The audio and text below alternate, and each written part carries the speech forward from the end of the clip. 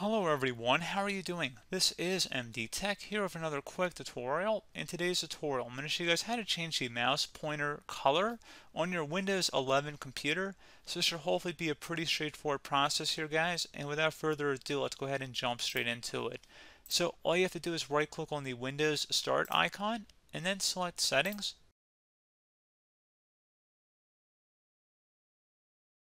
Select Bluetooth and devices on the left side and then on the right, go down to mouse and go ahead and left click on that. Scroll down versus mouse pointer. Go ahead and open that up. And then at this point, you go ahead and change the color by selecting the colored mouse icon. And then when you select that, then you'll have the option to go change it, the color of it. You can select the plus sign to choose another color as well. So pretty straightforward process here, guys. Do hope I was able to help you out, and I do look forward to catching you all in the next tutorial. Goodbye.